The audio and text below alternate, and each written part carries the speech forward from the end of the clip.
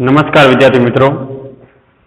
ધોરણ દસ, વિષય વિજ્ઞાન અને ટેકનોલોજી, ચેપ્ટર નંબર એક, રાસાયણિક પ્રક્રિયાઓ અને સમીકરણો. તો આપણે આગળના વિડીયોની અંદર રાસાયણિક સમીકરણ છે એને સમતોલિત કેવી રીતના કરવું?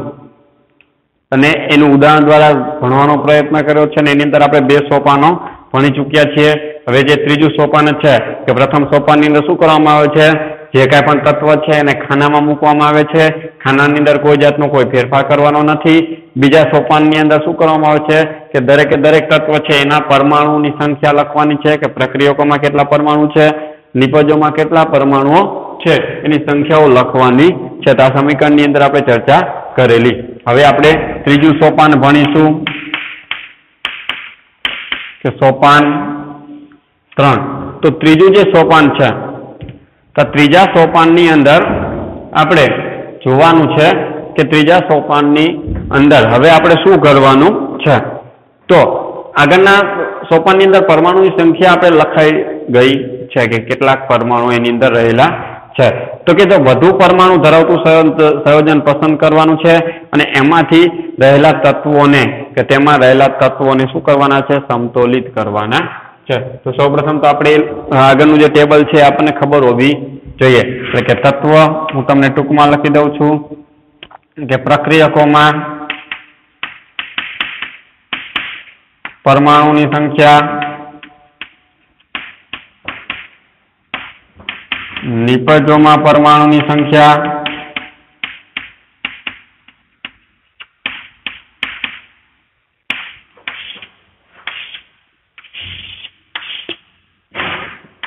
પહેલું તત્વ છે એફી તો એફીની સંખ્યા અહીંયા એક છે, અહીંયા ત્રણ છે. પ્રક્રિયકોમાં એક નિપજમાં ત્રણ છે. પછી હાઇડ્રોજન તત્વ છે. હાઇડ્રોજન તત્વની પ્રક્રિયકોમાં સંખ્યા કેટલી છે કે તો બે નિપજમાં પણ કેટલી છે તો કે બે. ત્રીજું તત્વ છે ઓક્સિજન. ઓક્સિજનની સંખ્યા પ્રક્રિયકોની અંદર કેટલી છે તો કે એક. હવે નિપજની અંદર ઓક્સિજનની સંખ્યા કેટલી છે તો ચાર. આવી રીતનું ટેબલ આપણને આગળ મળેલું હતું. ચાર ટેબલ છે. ટેબલને અનુલક્ષીને જ આપણે હવે આગળ ચર્ચા કરવાની છે. હવે આ જે ટેબલ છે એમાંથી નક્કી કરવાનું છે કે વધુ પરમાણુ છે. આમાંથી કયું એવું તત્વ છે કે જેમાં વધુ પરમાણુને સંતુલિત કરવાની જરૂરિયાત છે? એટલે કે વધુ પરમાણુ ધરાવતું સંયોજન પસંદ કરો અને તેમાં શું છે? તેમાં રહેલા તત્વોને સંતુલિત કરવાના છે. તો આમાંથી તમે જોઈ શકો, સૌથી વધારે પરમાણુ ધરાવતું તત્વ કયું છે? તો કે ઓક્સિજન છે. હવે એને આપણે પસંદ કરવાનું અને એને સંતુલિત કરવાનું. ચાલે, સૌપ્રથમ લખતા જઈએ કે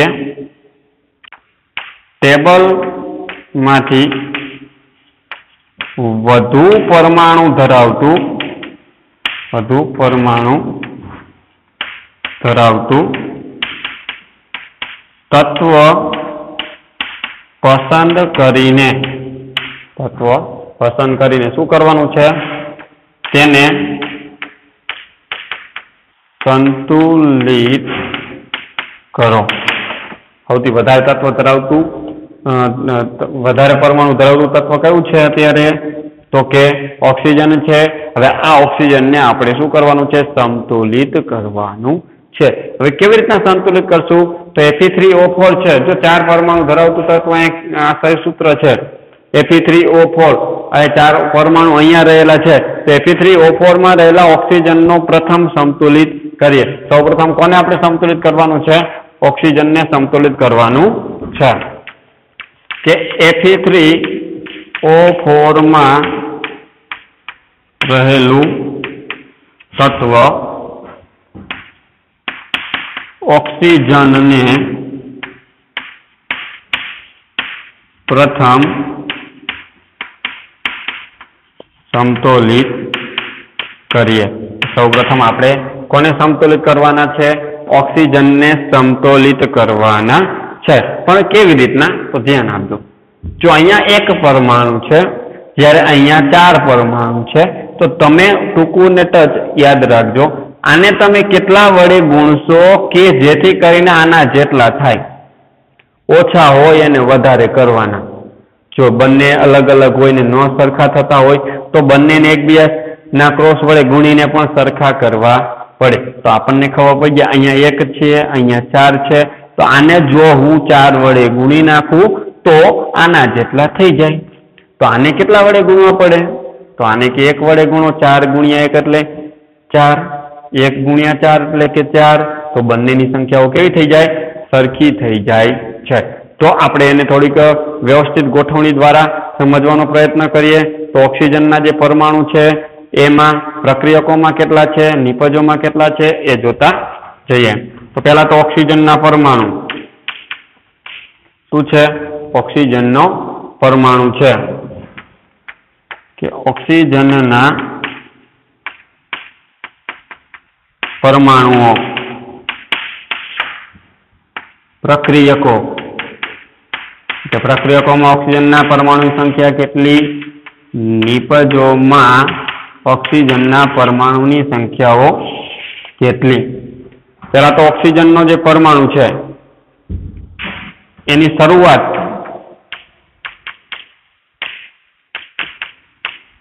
શું છે? શરૂઆતમાં ઓક્સિજનના જે પરમાણુ છે તો શરૂઆતમાં ઓક્સિજનના પરમાણુ, એટલે આ સમીકરણની અંદર તમે જોઈ શકો, શરૂઆતમાં ઓક્સિજનનો પરમાણુ અહીંયા છે. શેમાં છે? એચમાં છે. તો એચમાં ઓક્સિજનના કેટલા પરમાણુ છે? તો કે એક જ છે. તો શરૂઆતની અંદર હાઇડ્રો પાણી છે. તો પાણીમાં ઓક્સિજનના પરમાણુની સંખ્યા કેટલી છે? તો આપણે કહી શકીએ કે એમાં ઓક્સિજનના પરમાણુની સંખ્યા એક છે. તો એચ ટુ એચ છે. તો એચ ઓમાં ઓક્સિજનના પરમાણુની સંખ્યા કેટલી છે? કઈ ના હોય તો એક તો હોય, એટલે કે એક છે. જ્યારે નિપજ છે, તો નિપજની અંદર નિપજમાં ઓક્સિજન ક્યાં છે? તો કે એફી થ્રી ઓ ફોરમાં તો એફી થ્રી ઓ ફોર છે. તો એફી થ્રી ઓ ફોરમાં ઓક્સિજનના પરમાણુની સંખ્યા કેટલી છે? તો કે ચાર છે. કેટલી સંખ્યા છે? ચાર છે આમાં એક આમાં ચાર. બંને તમે અહીંયા જોઈ શકો છો.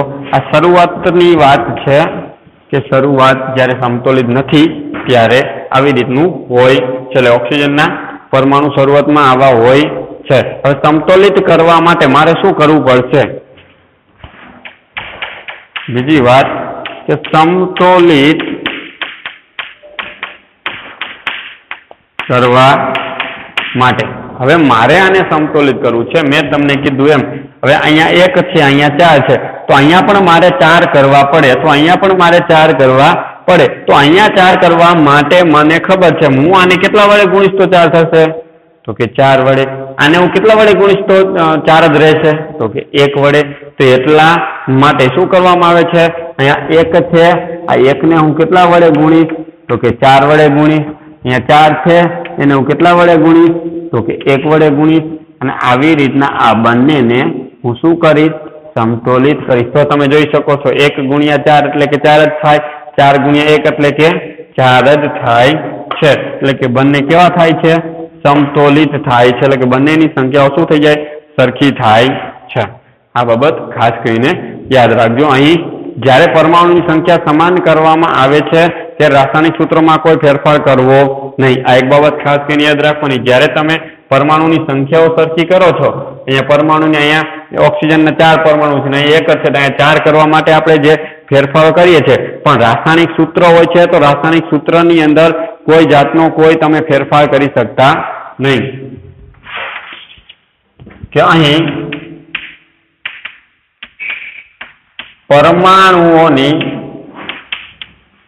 સંખ્યાઓને સમાન કરવા માટે, સમાન કરવા માટે તમે રાસાયણિક સૂત્રોમાં રાસાયણિક સૂત્રોમાં કોઈ જાતનો કોઈ ફેરફાર કરવો નહીં. રાસાયણિક સૂત્રોમાં કોઈ પણ ફેરફાર કરવો નહીં. આ બાબત એક ખાસ કરીને યાદ રાખવાની છે કે પરમાણુની સંખ્યા આપણે જો સમાન કરવી હતી પરમાણુની સંખ્યા સમાન કરવા માટે તમારે અહીંયા કોઈ જાતનો કોઈ ફેરફાર કરવાનો નથી. ઘણા બધા એવું કહેશે કે અહીંયા હું ઓક્સિજન એક છે, એના બદલે નીચે ચોગડો મૂકી દઉં તો પરમાણુ સંખ્યા કે સરખી થઈ જાય, કે કરવાની જરૂર પડે નહીં. પણ આવું કરી શકાય નહીં. પડી ખબર? તો કોઈ પણ ફેરફાર કરવાનો નથી આ બાબત ખાસ કરીને ધ્યાન આપવાની છે. તો એના પછી હવે આજે આપણે લખેલું છે એના આધારે શું થાય છે? એક નવું સમીકરણ બને છે. કેવી રીતના બને છે? પહેલા તો હું તમને આપું જે જૂનું સમીકરણ છે એને લખી લઈએ. એફી હતા ખાનામાં, એવી રીતના એચ પણ ખાનામાં હતા. એવી જ રીતના એમાંથી શું મળતું હતું આપણને? એફી થ્રી ઓ ફોર એ પણ ખાનામાં મૂકી દેવાના, ત્યારબાદ એચ ટુ એને પણ ખાનામાં મૂકી દેવાના છે. હવે તમને જે પ્રમાણે કીધું એમ પ્રક્રિયકોમાં જો એચ ટુ એમાં ઓક્સિજન એક હતા, તેની જગ્યાએ કેટલા કરવાના છે? તો કે એકને મેં કેટલા વડે ગુણ્યા? તો કે ચાર વડે. ત્યાં એચ ટુ ને પણ મારે કેટલા વડે ગુણવા પડશે? તો કે ચાર વડે ગુણવા પડશે. અને ચાર વડે મેં આગળ પણ કીધું. એ જો સંખ્યાઓમાં સમાન કરવા માટે રાસાયણિક સૂત્રોમાં કોઈ ફેરફાર કરો નહીં કે અંદર તમારે કોઈ જાતનો કોઈ ફેરફાર કરવાનો નથી. ફક્ત ફેરફાર તમે કરી શકો, પણ ક્યાં? બહાર જ ફેરફાર કરી શકો. ને એટલા માટે આ જે ચાર છે એ ચારને મારે ક્યાં ગુણવા પડશે? બહાર એચ સાથે ગુણવા પડે.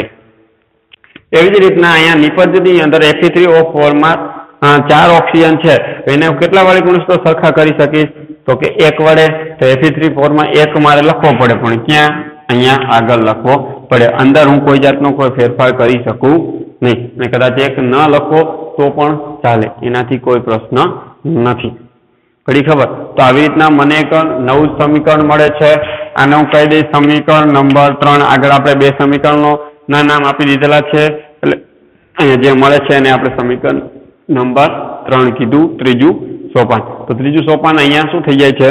પૂર્ણ થઈ જાય છે. હવે એના પછીનું સોપાન આવે છે, સોપાન ચાર. તો ચોથા સોપાનની અંદર શું કરવાનું? હજુ આની અંદર ઓક્સિજન તો સરખા થઈ જ ગયા. બંનેમાં ઓક્સિજનની સંખ્યાઓ સમાન થઈ ગઈ. પણ સાથે આપણે એ જોયું હશે કે જો અહીંયા હાઇડ્રોજન કેટલા થયા? ચાર ગુણ્યા બે એટલે કે આઠ હાઇડ્રોજન થઈ ગયા. તો અહીંયા હાઇડ્રોજન કેટલા રહ્યા? બે જ રહ્યા. હાઇડ્રોજન પણ અસંતુલિત થઈ ગયા. એકને સંતુલિત કર્યું, બીજું બગડી ગયું. એકને સુધારવા જાઓ છો, બીજો શું થાય? છે બગડી જાય છે. હવે એને પણ આપણે સંતુલિત કરવો પડશે. તો આ સમીકરણ છે તો આ સમીકરણની અંદર હાઇડ્રોજન અને આયન, એટલે કે એફી આ બંને હજી સંતુલિત નથી. તો આમાંથી સૌપ્રથમ આપણે શું કરવો પડશે? હાઇડ્રોજનને સંતુલિત કરીએ અને ત્યારબાદ તેને સમતુલિત કરવા માટે શું કરવું પડશે? આપણે બંને કે હાઇડ્રોજનને ચાર વડે ગુણવા પડશે. શું કરવાનું છે? એ ધ્યાન આપજો. તો, કે સમીકરણ ત્રણમાં સમીકરણ ત્રણમાં હજુ પણ તો કોણ સંતુલિત નથી? અહીંયા હાઇડ્રોજન આઠ છે, જ્યારે અહીંયા બે જ છે. કે હાઇડ્રોજન અને અહીંયા એફી એક છે, જ્યારે અહીંયા એફી ત્રણ છે. એફી બંને સંતુલિત નથી. તેથી સૌ પ્રથમ સૌ પ્રથમ આપણે હાઇડ્રોજનને સમતોલિત કરીશું. શું કરવું છે? સૌપ્રથમ આપણે કોને સંતુલિત કરવો છે? હાઇડ્રોજનને સંતુલિત કરવો છે. કેમ? કારણ કે જો અહીંયા આઠ છે ને અહીંયા બે છે. તો આને મારે શું કરીશ તો સરળતાથી? અહીંયા આઠ અહીંયા આઠ છે તો અહીંયા આઠ કરવા માટે શું કરવું પડશે? તો કહી શકશો કે અહીંયા તમે ચાર વડે ગુણી નાખો. તો સંતુલિત કરી શકાય છે. તો આપણે એને લખાણ સ્વરૂપમાં પણ લખવું પડે. એટલે કે હાઇડ્રોજનના પરમાણુને સંતુલિત કરવા માટે જમણી બાજુએ શું કરવાનું છે? એચ અણુને ચાર વડે ગુણવાના. કે હાઇડ્રોજનના પરમાણુને સંતુલિત કરવા માટે, સંતુલિત કરવા માટે નિપજમાં રહેલા હાઇડ્રોજનના અણુને ચાર વડે ગુણતા. હાઇડ્રોજનનો આ જે અણુ છે ને, હાઇડ્રોજનના અણુને શું કરવાનું છે? ચાર વડે ગુણવાના છે. અને ચાર વડે તમે ગુણો, એટલે શું થઈ જાય? બંને સરખા થઈ જાય છે. પડી ખબર? હવે એને પણ જેવી રીતના આપણે અહીંયા કોષ્ટક બનાવેલું છે, એવી રીતના હાઇડ્રોજનના પરમાણુનું પણ શું કરવું પડે? કોષ્ટક બનાવવું પડે. તો હાઇડ્રોજનના પરમાણુઓ.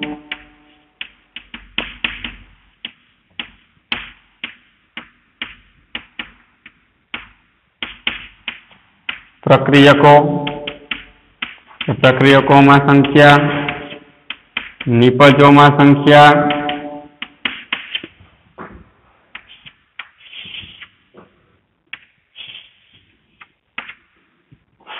તો સૌપ્રથમ હાઇડ્રોજનના પરમાણુ છે તો હાઇડ્રોજનના પરમાણુ શરૂઆતમાં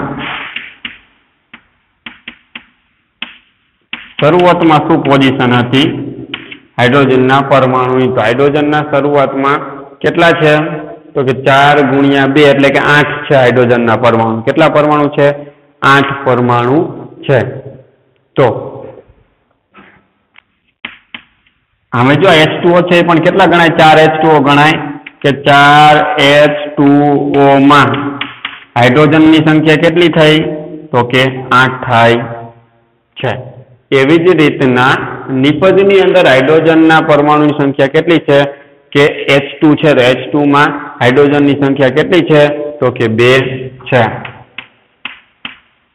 કે એચ ટુમાં હાઇડ્રોજનની સંખ્યા કેટલી છે? બે છે. આ શરૂઆતની વાત છે. સમતોલિત કરવા માટે સમતોલિત કરવા માટે. હવે આપણે એને શું કરવું છે? સમતોલિત કરવા છે. તો સમતોલિત કરવા માટે હું શું કરીશ હવે? જો અહીંયા આઠ છે, અહીંયા બે છે, તો નાની સંખ્યાને આના જેવડી કરાય. તો અહીંયા બે ને આઠ કરવા માટે મારે શું કરવું પડે? તો તમે જ કહેશો, સાહેબ, એને ચાર વડે ગુણી નાખો, ચાર વડે ગુણી લ્યો, એટલે બે ગુણ્યા ચાર, એટલે કે આઠ થઈ જાય. તો આને શું કરવું પડે? તો અહીંયા આઠ છે, એને હું એક વડે ગુણીશ, અહીંયા જે બે છે, એને હું ચાર વડે ગુણીશ, એટલે બંને કેવા થઈ જાય? સરખા. તો આઠ ગુણ્યા એક, બે ગુણ્યા ચાર, એટલે બંને સમતોલિત થઈ જાય છે. તો આવી રીતનું સમીકરણ તમને મળે. આના ઉપરથી એક નવું સમીકરણ તમને બને. તો આના ઉપરથી નવું સમીકરણ કેવી રીતના મળે? શું મળે? તો પહેલા આ સમીકરણ લખી નાખવાનું. તો તો નવું સમીકરણ. નવું સમીકરણ શું મળશે? પેલા એથી જેમ હતા એમના એમ, ખાનું હતું એમના એમ પ્લસ ચાર, ખાણાની અંદર એચ જેમ હતા એમના એમ તીરની નિશાની. એમાંથી મને એફી થ્રી ઓ ફોર મળે છે. એ પણ ખાનાની અંદર જેમ હતા એમના એમ. એચ ટુ ખાનાની અંદર જેમ છે એમના એમ જ રાખવાના છે. અત્યારે કોઈ જાતનો કોઈ ફેરફાર કરવાનો નથી. પણ હવે શું છે? કંઈ સંતુલિત કરવા માટે મેં શું કર્યું? ચાર ધોને આઠ હતા. એને એક વડે જ ગુણું છું, એટલે કોઈ જાતનો કોઈ ફેરફાર થતો નથી. ત્યારબાદ અહીંયા નિપજની અંદર શું હતા? એચની અંદર બે હતા. એચની અંદર કેટલા હતા? બે હતા. બે ને હું કેટલા વડે ગુણું છું? તો કે ચાર વડે. તો ચાર વડે મારે શું કરવા પડે? અહીંયા ગુણવા પડે. તો જુઓ, હવે તમે જોઈ શકો છો, ચાર દૂને આઠ હાઇડ્રોજન, ચાર દૂને આઠ હાઇડ્રોજન, બંને સાઈડ હાઇડ્રોજનની સંખ્યા કેવી થઈ જાય? સરખી. તો જો અહીંયા ઓક્સિજનની સંખ્યા કેટલી થઈ? ચાર. તો અહીંયા પણ ઓક્સિજનની સંખ્યા કેટલી થઈ જાય ચાર. હાઇડ્રોજનની સંખ્યા આઠ. ઓલરેડી સમતુલિત છે. હવે સમતોલિત નથી, તો કોણ નથી? તો કે આયન એફી છે હજી સમતોલિત નથી. તો એફીને મારે શું કરવું પડશે?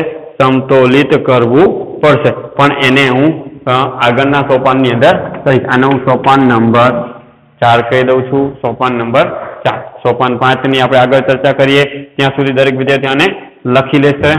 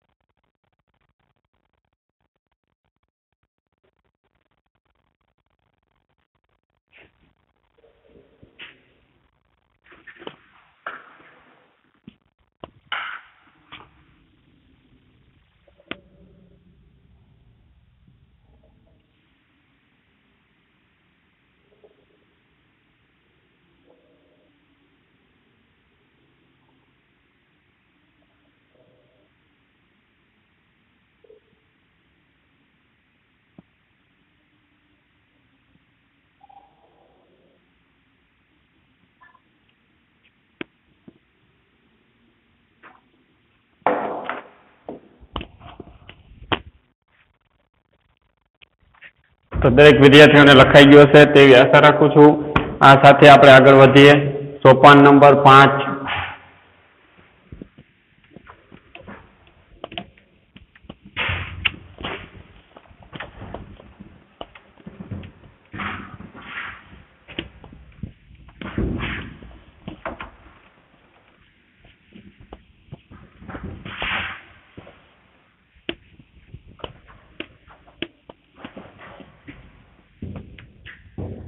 તો સોપાન નંબર પાંચ.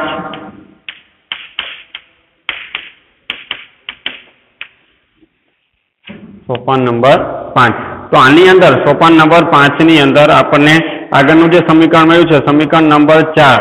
તો એ સમીકરણ નંબર જે ચાર છે, એ ચારની અંદર હજી આયન છે, એ સમતોલિત નથી. આ ચાર છે, સમીકરણ ચાર છે, એમાં આયન છે, એટલે કે લોખંડ છે, એ સમતોલિત નથી. તેને સંતુલિત કરવા માટે આપણે શું કરવું પડશે? તો સમીકરણ ચારમાં સમીકરણ ચારમાં હજુ પણ લોખંડ, એટલે કે આયર્ન સમતોલિત નથી. ને તેથી તેને સમતોલિત કરવા માટે. તો એને સમતુલિત કરો. સમજ્યું? આ સમીકરણ છે. આની અંદર એફ એક છે. જ્યારે અહીંયા ત્રણ છે, તો અહીંયા ત્રણ છે, તો અહીંયા ત્રણ કરવા માટે મારે ડાબી બાજુ શું કરવા પડશે?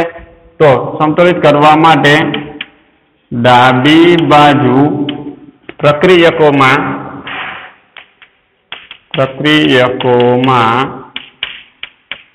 એફીને ત્રણ વડે ગુણતા. એફીને શું કરવામાં આવે છે? ત્રણ વડે ગુણવામાં આવે છે. તો ત્રણ વડે ગુણવાના છે. ત્રણ વડે તમે એને ગુણો, એટલે શું મળે? તો નવ સમીકરણ એફી જેમ હતા એમના એમ અત્યારે હું મૂકી દઉં છું. ત્યારબાદ અહીંયા કેટલા હતા? ચાર એચ જેમ હતા એમના એમ. એને હું રાખી દઉં છું. તીરની નિશાની, અહીંયા એફી થ્રી ઓ ફોર જેમ હતા એમના એમ. ત્યારબાદ ચાર એચ ટુ જેમ હતા એમના એમ. તમે અહીંયા જોઈ શકો છો. તો અહીંયા એફી એક છે, જ્યારે એફી ત્રણ અહીંયા હાઇડ્રોજન ચાર દૂને આઠ, અહીંયા પણ ચાર દૂને આઠ, ઓક્સિજન ચાર, તો અહીંયા ઓક્સિજન ચાર. સંતુલિત જ છે, ફક્ત સંતુલિત નથી તો એફી તો આને હું અહીંયા ત્રણ વડે ગુણી નાખું તો અહીંયા પણ ત્રણ એફી અહીંયા પણ ત્રણ એફી બંને સાઈડ એફી એફી એટલે કે આયન આયન બંને કેવા થઈ જાય છે? સમાન બની જાય છે. અને આવું એક નવું સમીકરણ મને મળે છે. આ જે સમીકરણ મળે છે એને હું કહી દઈશ સમીકરણ નંબર પાંચ. ને સમીકરણ પાંચ છે, એમાં બંને બાજુએ રહેલા પરમાણુની સોરી આ જે સમીકરણ છે મને સમતોલિત મળી જાય છે. હવે એના પછીનું જે સોપાન છે, એની વાત કરીએ. તેના પછીનું જે સોપાન છે, સોપાન નંબર છ. સોપાન છ. તો સમીકરણ પાંચ મને મળે છે. તો સમીકરણ પાંચની અંદર શું છે? બંને સાઈડ તત્વના પરમાણુની સંખ્યાઓ કેવી છે?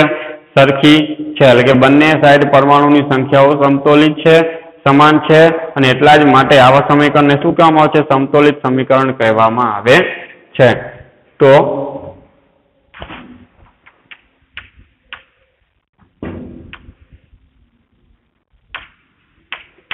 સમીકરણ પાંચમાં રહેલા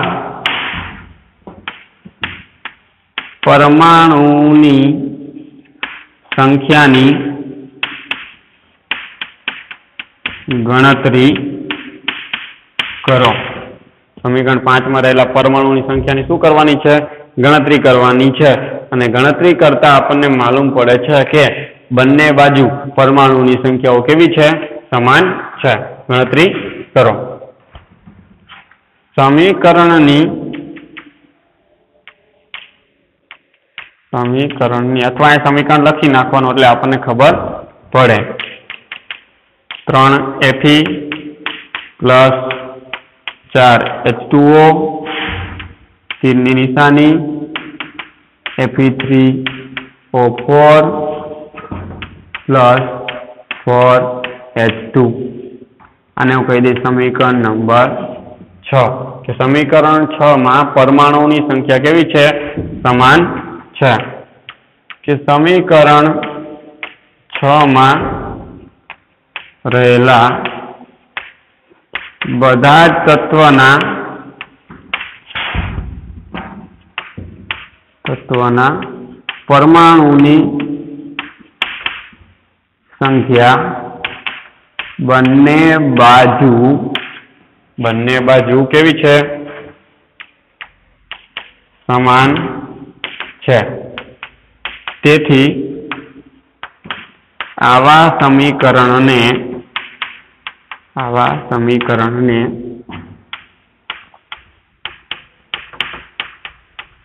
સમતોલિત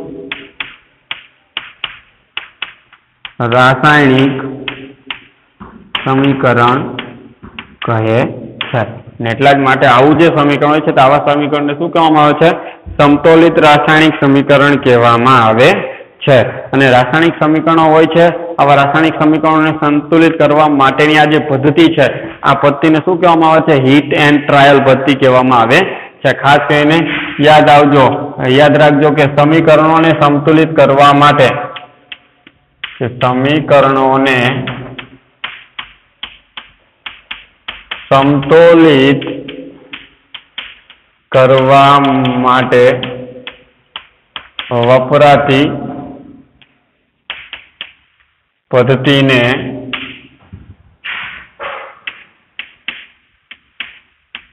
હીટ એન્ડ ટ્રાયલ કહે છે. યાદ રાખજો, સમીકરણોને સંતુલિત કરવા માટે કઈ પદ્ધતિ વપરાય છે, કઈ વિધિ વપરાય છે, તો હીટ એન્ડ ટ્રાયલ વપરાય છે. આ પદ્ધતિને હીટ એન્ડ ટ્રાયલ પદ્ધતિ તરીકે ઓળખવામાં આવે છે. એટલે ખાસ કરીને યાદ રાખવાનું છે. અને હવે આપણું સૌથી છેલ્લું, જે આપણા માટે બહુ ઉપયોગી નહીં, પણ ઉપયોગી તો છે, પણ એને જરૂરી આપણે માનતા નથી. અત્યારે આ ધોરણ દસ પ્રમાણે એ ન હોય તો પણ ચાલે. પણ જોઈએ લઈએ. કે સોપાન સાત સોપાન નંબર સાત. તો એની અંદર હવે શું કરવામાં આવે છે? હવે તો આપણે શું થઈ ગયું? સમીકરણ પણ સંતુલિત બની ગયું છે. તો હવે શું? તો પદાર્થની ભૌતિક અવસ્થા દર્શાવતી સંજ્ઞા લખવી. હવે જે જે સમીકરણ છે, અહીંયા એની શું કરવાની છે? ભૌતિક અવસ્થાઓ દર્શાવવાની છે. એટલે કે ઘન છે, પ્રવાહી છે, વાયુ છે, કે શું છે? જલીય છે, શું છે? તો એ દર્શાવવું પડે. તો હવે પદાર્થની ભૌતિક અવસ્થાઓ દર્શાવતી સંજ્ઞાઓ લખવી અર્થસૂચક બનશે. જેથી સમીકરણ વધારે વધારે તમે શું એ સ્પષ્ટપણે એનો અર્થ શું છે? કેવા સ્વરૂપમાં છે તમે ઓળખી શકો છો. તો પદાર્થની ભૌતિક અવસ્થાઓ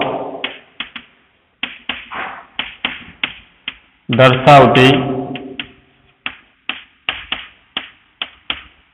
સંજ્ઞાઓ લખવી. એટલા જ માટે શું થાય છે? પદાર્થની ભૌતિક અવસ્થાઓ જો તમે દર્શાવશો, તો એ જે તત્વ છે, એ શું બને છે? જેથી કરીને સમીકરણ છે, એ વધારે વધારે અર્થસૂચક બને છે કે આ સમીકરણનો અર્થ શું છે? એ તમે જાણી શકો છો. જેમ કે જેમ કે, વાયુ હોય તો એને આપણે અંગ્રેજીમાં કહેતા હોય ગેસ. અને એટલા જ માટે વાયુ માટે શું દર્શાવવામાં આવે છે? જી સંજ્ઞા દર્શાવવામાં આવતી હોય છે. વાયુ માટે શું દર્શાવવામાં આવે છે? જી સંજ્ઞા દર્શાવવામાં આવે છે. સ્મોલ જી પ્રવાહી હોય તો એને આપણે કહેતા હોય લિક્વિડ. એટલા માટે એના માટે શું કરવામાં આવે છે? સ્મોલ એલ દર્શાવવામાં આવે છે. ત્યારબાદ ઘન હોય તો એને આપણે કહેતા હોય સોલિડ અને એટલા માટે એસ કહેવામાં આવે છે. ને જલીય હોય તો એના માટે એકવાસીસ એવો શબ્દ વપરાય છે. અને એટલા માટે એના માટે એક્યુ. સંજ્ઞા. કઈ? એક્યુ એવી સંજ્ઞા વાપરવામાં આવે છે કે જેવા જેવા સંકેતો લખવા.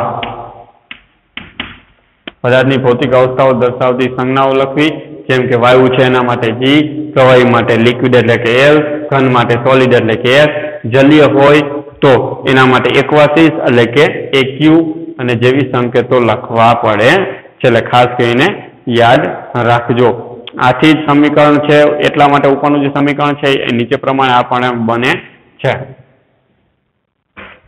તો હવે સમીકરણ નંબર છ પરથી. સમીકરણ છ પરથી. સમીકરણ છ જે આપણને છેલ્લે મળ્યું હતું ને, આ સમીકરણને આપણે શું કરવાનું છે? ભૌતિક અવસ્થાઓમાં દર્શાવવાના હોય છે. આ જરૂરી નથી. પણ દર્શાવી દેવાનું. હવે કાઉન્સ કાઢી નાખું છું? Three Fe plus four H two O તીરની નિશાની Fe three O four plus four H two આવી રીતના સામાન્ય સમીકરણ, સમતુલિત સમીકરણની અંદર લખી નાખું છું. હવે એફી એટલે કે લોખંડ છે. લોખંડ છે કેવા સ્વરૂપમાં હોય છે? સોલિડ એટલે ઘન સ્વરૂપમાં હોય એટલા માટે નીચે કઈ સંજ્ઞા દર્શાવવામાં આવે છે? એસ સંજ્ઞા દર્શાવવામાં આવતી હોય છે. ત્યારબાદ પાણી હોય છે. અહીંયા વરાળ સ્વરૂપમાં હોય છે ને એટલા માટે શું કહેવાય? એક પ્રકારનો ગેસ છે અને એટલા માટે એને જી વડે દર્શાવવામાં આવે છે. એમાંથી જે ક્ષાર મળે છે, તો એફી થ્રી ઓ ફોર જે સોલિડ સ્વરૂપમાં હોય છે, એટલા માટે એને એસ અને એચ ટુ એટલે કે હાઇડ્રોજન વાયુ છે, ખબર છે? વાયુ. બોલીએ છીએ આપણે નામ એટલા માટે એને ગેસ સ્વરૂપમાં દર્શાવવામાં આવે છે. તો આવી રીતના એની ભૌતિક અવસ્થાઓ દર્શાવવાથી આપણને અર્થસૂચક બને. જો અહીંયા ખબર પડી ગઈ આ ગેસ છે, વરાળ સ્વરૂપ છે. નહીતર આપણે શું સમજીએ? પાણી જ સમજીએ. પણ અહીંયા આ જે પાણી છે, પાણીની વરાળ છે, એટલા માટે ગેસ સ્વરૂપમાં હોય છે. ત્યારબાદ ઘણી બધી વખત એવું પણ કરવામાં આવે છે, ઘણી બધી વખત પ્રક્રિયા હોય છે એની પરિસ્થિતિ. જેવી કે તાપમાન હોય છે, દબાણ હોય છે, વાતાવરણ હોય છે, ઉદ્દીપક હોય છે, વગેરે ઉપર પણ શું હોય વગેરેને પણ શું કરવામાં આવે છે? તીરની ઉપર અથવા તો નીચે મૂકવામાં આવતા હોય છે. ઉદાહરણ તરીકે આપણે જોતા જઈએ, ઘણી બધી વાર, ઘણી વાર પ્રક્રિયામાં શું છે?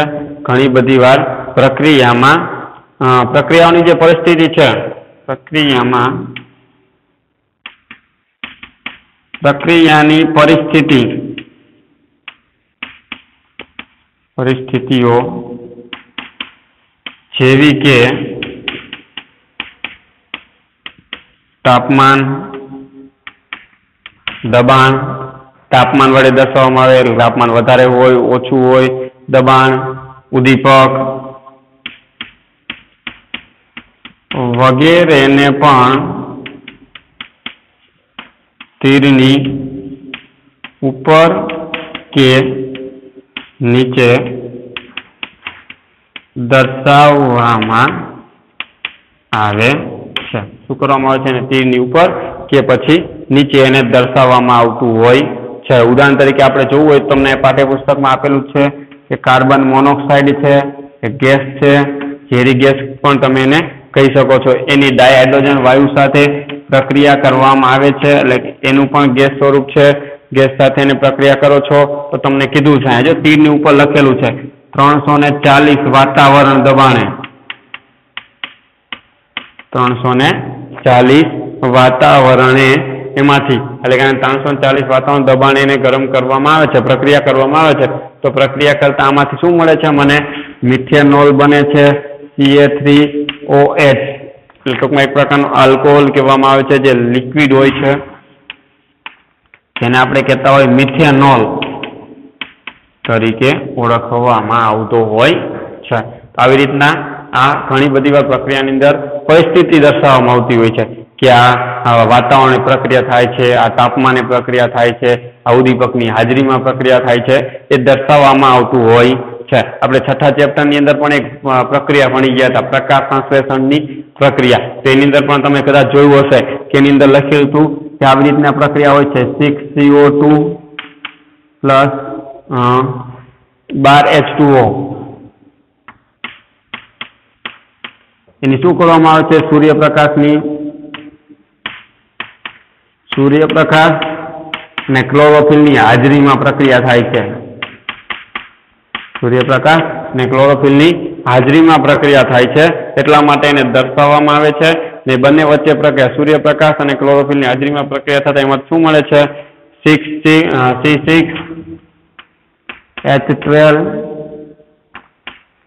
O six આવું તમને. જેને આપણે કહેતા ગ્લુકોઝ તરીકે પણ ઓળખતા હોઈએ છે તો એ ગ્લુકોઝ છે. ત્યારબાદ છ મોલ ઓક્સિજન મળે છે. છ મોલ એમાંથી પાણી પણ મળે છે. આવી રીતના તમને મળતું હોય છે. ગ્લુકોઝ અને એ કેવો હોય છે? જલીય હોય છે. અહીંયા આ બંને વચ્ચેની પ્રક્રિયા દરમિયાન ગ્લુકોઝ એક જલીય હોય છે, ઓક્સિજન પણ જલીય હોય છે અને પાણી હોય છે એ લિક્વિડ સ્વરૂપમાં હોય છે. તો આવી રીતની પ્રક્રિયાઓ હોય છે, પરિસ્થિતિને અનુલક્ષીને થતી હોય છે. તેની પરિસ્થિતિ હોય છે એ શું કરવામાં આવે છે? તીરની ઉપર અથવા તો નીચે એને દર્શાવવામાં આવતી હોય આ ખાસ કરીને યાદ રાખજો સમીકરણને સંતુલિત કરવા માટેના જે સાત સોપાનો છે, આનો તમારે શું કરવાનો છે, ઉપયોગ કરવાનો છે, જેથી કરીને તમે સરળતાથી ને સરળતાથી સમીકરણને સંતુલિત કરી શકો. તો ખાસ કરીને ધ્યાન આપજો. તો આ સાથે આપણો આ વીડિયો આપણે અહીંયા પૂર્ણ કરીએ છીએ. હવે પછી આગળના જે પાઠ્યપુસ્તકના જે પ્રશ્ન તમને પૂછવામાં આવેલા છે, એનો આપણે જવાબ આપવાનો પ્રયત્ન કરીશું. ત્યાં સુધી ઘરમાં રહેવાનું, સુરક્ષિત રહેવાનું. જય હિન્દ.